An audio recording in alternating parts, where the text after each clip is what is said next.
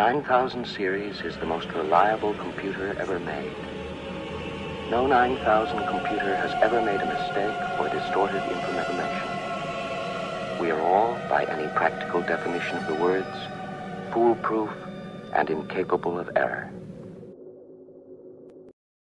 Hallo an alle Interessierten da draußen. Schön, dass ihr hergefunden habt, beziehungsweise schön, dass ihr wieder da seid. Das, was ihr gerade gehört habt, beziehungsweise gesehen, war Hell 9000, eine KI aus dem Film 2001 Odyssey im Weltraum von Stanley Kubrick. Die Aussage zu Deutsch, Gehirne der Serie 9000 sind die besten Computer, die jemals gebaut worden sind. Kein Computer der Serie 9000 hat jemals einen Fehler gemacht oder unklare Informationen gegeben. Wir alle sind zu 100% zuverlässig und narrensicher. Wir irren uns nie. Somit sind wir auch gleich beim Thema unseres Videos, also der KI der künstlichen Intelligenz. Und dies ist auch nicht nur im Hinblick auf die vielen Assistenzsysteme, die es bereits gibt, heute von Interesse, sondern auch in der Medien- und der Arbeitswelt wird die KI immer mehr zum Thema. Wir schauen uns an, was das eigentlich ist. Alleine der Begriff Intelligenz ist ja nicht klar definiert. Dann begeben wir uns auf den Pfad der Geschichte, schauen uns die Entwicklung an und beleuchten auch Meldungen aus der letzten Zeit zum Thema. Natürlich stellen wir uns auch der Frage nach den Risiken, die jede neue Technologie mit sich bringt. Wie die Geschichte bereits gezeigt hat, sind viele davon für uns eigentlich nicht bzw. nur schwer zu beherrschen. Es handelt sich bei der künstlichen Intelligenz um einen Teilbereich der Informatik. Hier geht es darum, intelligentes Verhalten zu automatisieren. In der Regel wird hierbei versucht, die menschliche Intelligenz nachzubilden. Dies bedeutet, einen Computer oder eine Software zu entwickeln, die eigenständig Probleme lösen kann. Da taucht in meinen Gedanken direkt die Frage auf, wieso soll man beim Level der menschlichen Intelligenz stehen bleiben? wenn man das Ziel einmal erreicht hat. Ich denke, dass die Forschung versuchen wird, diese Technologie an immer neue Rekorde heranzuführen. Vielleicht entwickeln ja auch bald KIs KIs. Auch in Computerspielen soll mit Hilfe von Algorithmen versucht werden, den Eindruck von Intelligenz zu erzielen. Hierbei gibt es zwei Arten der künstlichen Intelligenz, einmal die schwache KI und die starke KI. Bei der starken KI geht es darum, dass sie wie ein Mensch reagiert. Also quasi der Mensch in der Maschine, the ghost in the shell. Bei der schwachen KI geht es darum, Anwendungsprobleme zu lösen, bzw. den Menschen mit Rat und Tat zu unterstützen. Die meisten Erfolgsmeldungen stammen aus dem Gebiet der schwachen KI. Die Architektur der starken KI wird sich wohl grundlegend von der des menschlichen Gehirns unterscheiden. Auch Gefühle sollte man nicht erwarten, diese können bestenfalls simuliert werden. Die Erforschung der KI ist kein geschlossenes Gebiet. Die Erkenntnisse stammen aus der Psychologie, aus der Neurologie, aus den Neurowissenschaften, aus der Mathematik und Logik sowie aus den Kommunikationswissenschaften, der Philosophie und der Linguistik. Die Neurowissenschaften sind auch ein Ergebnis dieser Forschung, ebenso wie die künstlichen neuralen Netze. Innerhalb der KI gibt es noch diverse andere Teilgebiete. Zum einen gibt es die wissensbasierten Systeme. Dies sind eine reine Form der rationalen Intelligenz.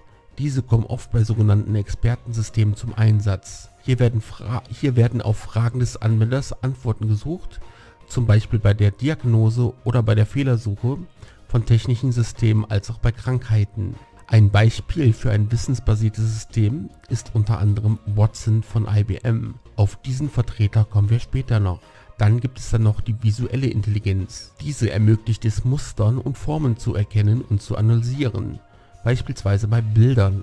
Andere Beispiele sind die biometrische Erkennung als auch die Kontrolle von industriellen Fertigungsprozessen. Die sprachliche Intelligenz fällt ebenfalls unter dieses Gebiet. Die Sprachsynthese funktioniert hierbei in beide Richtungen. Auch kann die Bedeutung von Worten innerhalb eines Textes erkannt werden. Hier wird dann von der latenten semantischen Analyse oder aber LSI gesprochen. Google betreibt ein solches System mit dem Namen Google Brain. Das Pendant von Microsoft hört auf den Namen Adam. Damit noch lange nicht genug der Möglichkeiten. Es gibt auch Systeme für die Mustervorhersage und die Robotik ist natürlich auch nicht zu vernachlässigen. Ich persönlich gehe mal davon aus, dass es nicht mehr allzu lange dauert, bis im iRobot-Style Robotbedienstete unser Leben bereichern. Wenn ihr mehr zum Thema Robotik wissen wollt, auch hier habe ich bereits ein Thema bzw. ein Video auf dem Kanal gemacht. Sorry dafür den schlechten Sound, ich hatte da noch nicht so das dolle Mikrofon. Soweit also zur Grundlagendefinition des Bereiches der KI-Forschung. Schauen wir nun ein wenig auf den Werdegang. Seid ihr dafür? Dann habt ihr jetzt die Gelegenheit, einen Daumen zu hinterlassen. Am besten natürlich einen nach oben. Die Idee des Menschen, eine intelligente Maschine bauen zu können, reicht weit zurück. Als eine der frühesten Quellen wird Julien Offray de la Metière und sein 1748 veröffentlichtes Werk Les Hommes Machines angesehen. Er war ein französischer Arzt und Philosoph, der von 1709 bis 1751 lebte. Ich denke, ich habe den Namen total falsch ausgesprochen. Der Titel des Buches lautet zu Deutsch Der Mensch als Maschine. Dann gab es dann noch den Laplace'schen Dämon. Bei diesem Modell, was nach dem französischen Mathematiker und Physiker Pierre-Simon Lapage benannt wurde, wird davon ausgegangen, dass das komplette Universum wie ein Uhrwerk abläuft. Nach dieser Vorstellung wäre der Mensch, sein Geist, sein Verstand auch nur Teil dieses Uhrwerkes. Schon damals gab es auch Vorstellungen von komplett künstlichem Leben, dieses schauen wir uns aber mal in einem anderen Video an. Ab ca. dem 20. Jahrhundert ging es dann langsam mit der wissenschaftlichen Grundlagenforschung los. Auf der Grundlage des Aufsatzes Computing, Machinery and Intelligence von Alan Turing wurde an der Carnegie Mellon University durch Alan Newell und Herbert A. Simon die Physical Symbol System Hypothese erarbeitet. Nach Turing ist auch der bekannte Test benannt. Hier werden per Tastatur zu einer unbekannten Person bzw. Partner Fragen gestellt. Kann der Fragensteller dann nicht klar sagen, ob es sich beim Gegenüber um einen echten Menschen oder aber um eine Maschine handelt, gilt dieser Test als bestanden. Die Kernaussage ist, dass Denken eine Informationsverarbeitung sei. Diese wiederum sei eine Rechenvorgang bzw. Rechenleistung. Auf das Gehirn kommt es demnach nicht an, Intelligenz ist unabhängig vom Trägermedium. Diese Ansicht wird auch von Anhängern der starken KI-Forschung geteilt. Ein Pionier auf dem Gebiet war ein gewisser Marvin Minsky von der MIT. Ihm nach sei das Ziel der KI die Überwindung des Todes. Hans Mobeck, Robotikexperte an der Cambridge Milloy, geht auch davon aus, dass eines Tages das Wissen des Gehirns in Computern gespeichert werden kann. Somit sei es auf ewig abrufbar. Das Gehirn habe auch seiner Ansicht nach als Trägermedium ausgedient. So heißt es in einem seiner Bücher mit dem Titel Mind Children. In einem anderen seiner Bücher mit dem Titel Computer übernehmen die Macht heißt es, ich sehe die Maschinen als unsere Nachkommen. Im Augenblick glaubt man das kaum, weil sie eben nur so intelligent sind wie Insekten. Aber mit der Zeit werden wir das große Potenzial erkennen, das in ihnen steckt und wir werden unsere neuen Roboterkinder gern haben, denn sie werden angenehmer sein als Menschen. Man, mu man muss ja nicht all die negativen menschlichen Eigenschaften, die es seit der Steinzeit gibt, in diese Maschinen einbauen. Damals waren diese Eigenschaften für die Menschen wichtig. Aggression etwa brauchte es, um zu überleben. Heute in unserer großen zivilisierten Gesellschaft machen diese Instinkte keinen Sinn mehr. Diese Dinge kann man einfach weglassen. Genauso wie den Wesenszug der Menschen, dass sie auf Leben, dass sie ihr Leben auf Kosten anderer sichern wollen.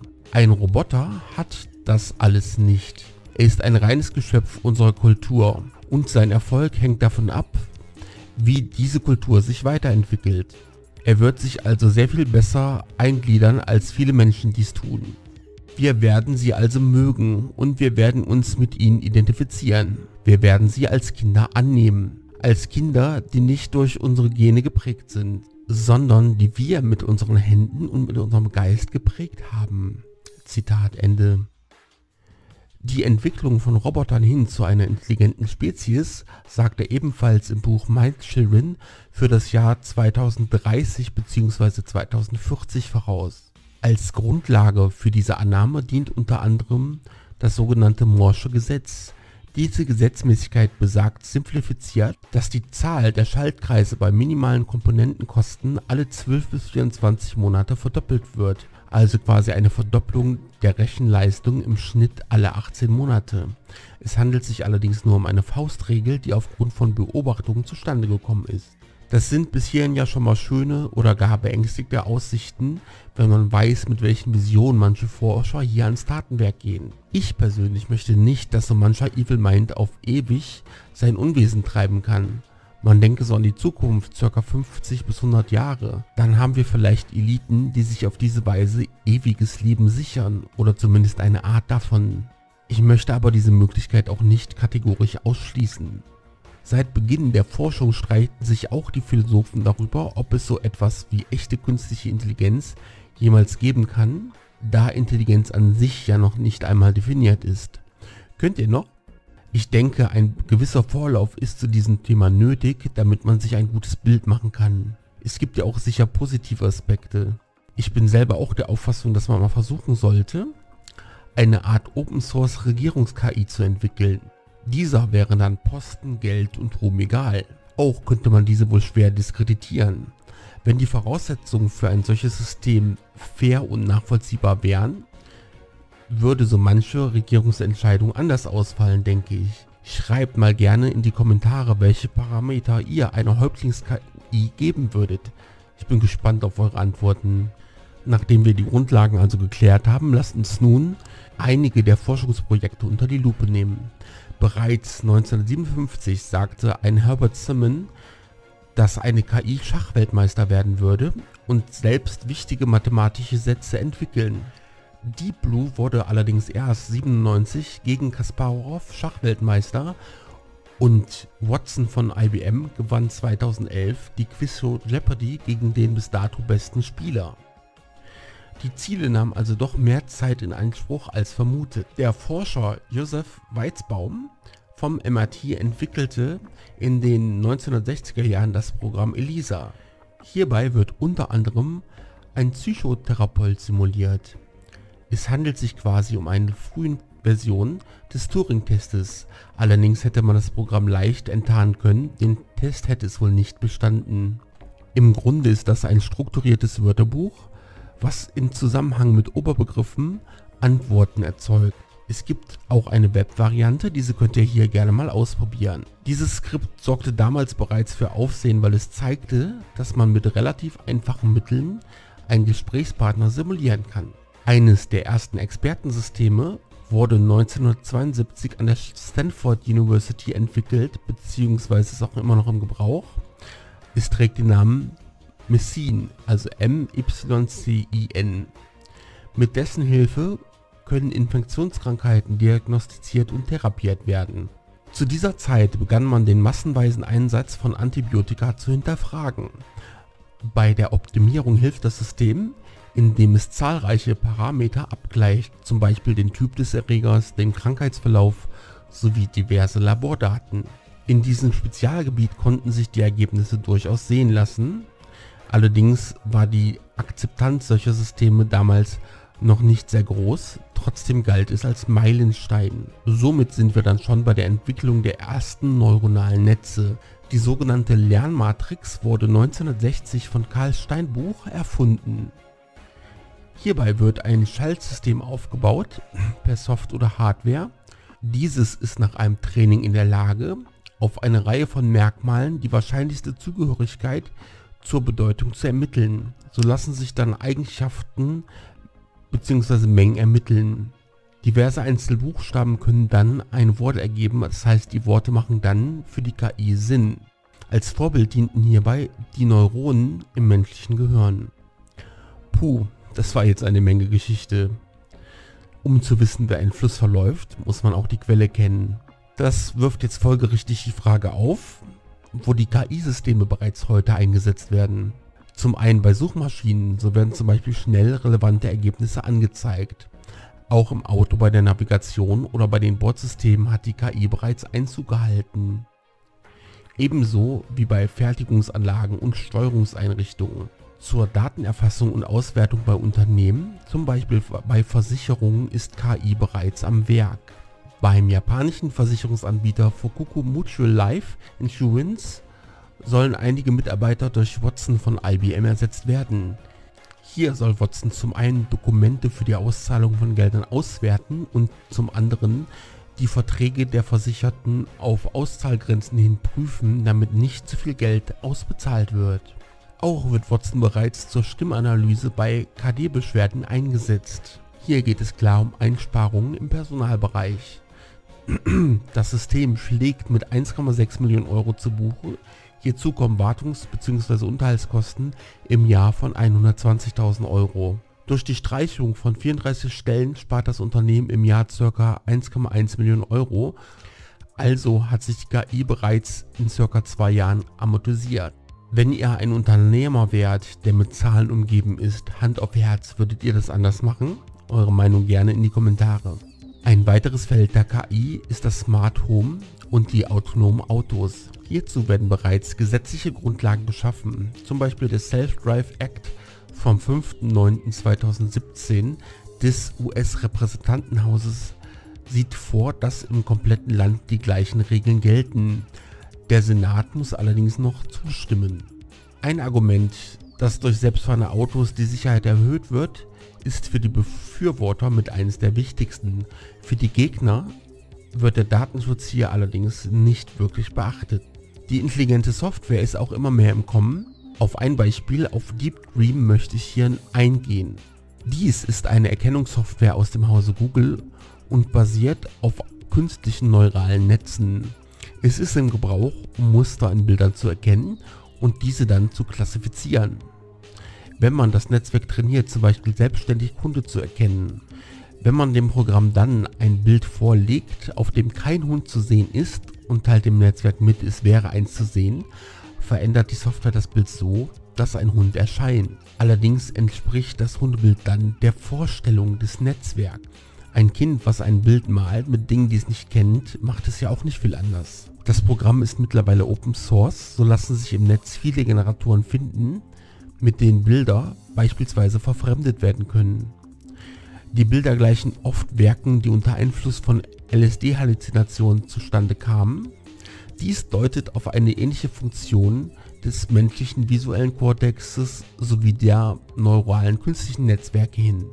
Bevor wir zum Ende kommen, möchte ich noch eine Meldung durchgehen und zwar geht es hier um eine KI von Facebook, die eine eigene Sprache entwickelt haben soll. Hier berichtet beispielsweise die Zeit Online vom 2.8.2017, dass die Chatbots dann in einer eigenen Sprache kommuniziert hätten. Es ging bei dem Versuch darum, Chatbots das Verhandeln beibringen zu können. Hierbei sollten die Bots Alice und Bob diverse Objekte unter sich aufteilen, sodass jeder zufrieden ist. Hierbei hatten zum Beispiel virtuelle Bücher und Bälle unterschiedliche Wertpunkte.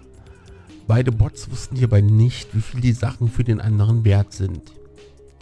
Hier sprachen die Bots dann bald nicht mehr im Standard-Englisch miteinander, sondern kommunizierten und wiederholten Worte bzw. setzten die Worte um, sodass sie dann für die Forscher keinen nachvollziehbaren Sinn mehr ergaben. Für die Chatbots bzw. die künstliche Intelligenz hinter diesen machte dies anscheinend doch Sinn. Mit dieser Methode waren sie beim Verhandeln erfolgreicher. Dies ist allerdings bei künstlicher Intelligenz bereits öfter beobachtet worden. Sie schaffen sich quasi wie beim menschlichen Klicken auch ihre eigene Abkürzung. Diese Bedeutung kennen dann nur Mitglieder der Clique. Was allerdings hier zum Nachdenken anregt, ist die Tatsache, dass die KI vorgab, ein Ding nicht zu wollen oder eine Sache nicht besitzen zu wollen, um sie dann zu bekommen. Sie hat quasi gelogen, um ihr Ziel zu erreichen. Auch das kommt mir sehr menschlich vor. Der Punkt, in dem die technologische Singularität erreicht ist, das ist der Zeitpunkt, in dem die KIs den Mensch überholen, mag noch weit weg sein. Allerdings denke ich, dass diese Wahrscheinlichkeit, dass dies eines Mal dazu kommt, sehr hoch ist. Vielleicht sollte die Menschheit bis dahin gelernt haben, besser mit sich und der Welt umzugehen, bevor wir als unnötig eingestuft werden.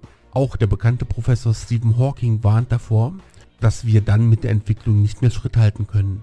So viel zu diesem Einblick ins Thema. Ich hoffe, ich konnte euch einen guten Überblick verschaffen, auch wenn dieser bei Weitem nicht komplett ist. Wenn ihr das Video bereichernd fandet, lasst mir gerne einen Daumen da und unterstützt mich bitte, indem ihr den Kanal weiterempfehlt, auf welche Weise auch immer. Und wenn ihr euch traut, könnt ihr gerne ein Abo dalassen. Ich bedanke mich für eure Aufmerksamkeit, bis zum nächsten Mal bei den M-Files. O jak